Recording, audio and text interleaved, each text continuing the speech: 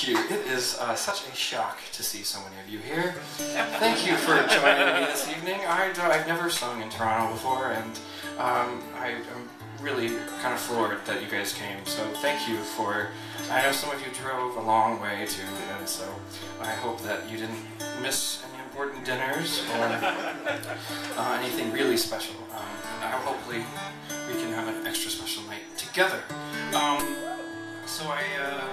That song was called Field Trip Buddy. This one is, uh, well, I write songs about weird things sometimes. That last song was kind of about a crush that I had on Doug Clark in the fourth grade.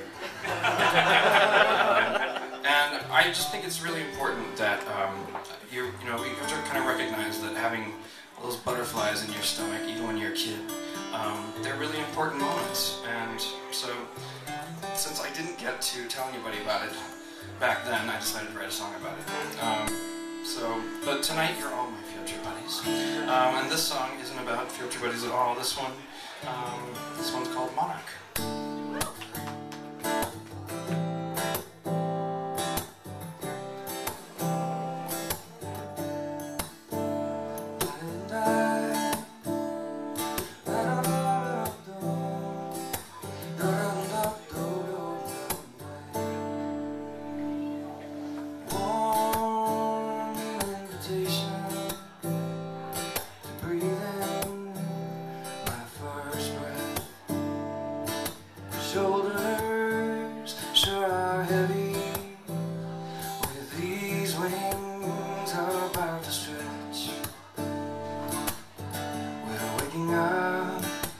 Clinging the rafters, sensing summer winds are coming in.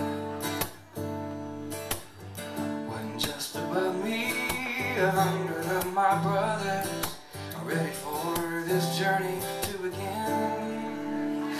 and we're off, we're heading home now.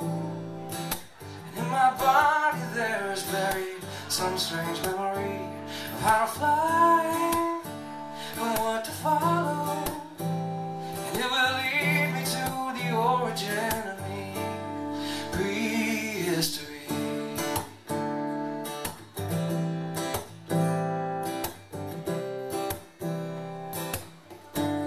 Well, how long was I asleep All these colors opening like bright kaleidoscopes Of waking dreams, you won't believe the view I'm taking a dive into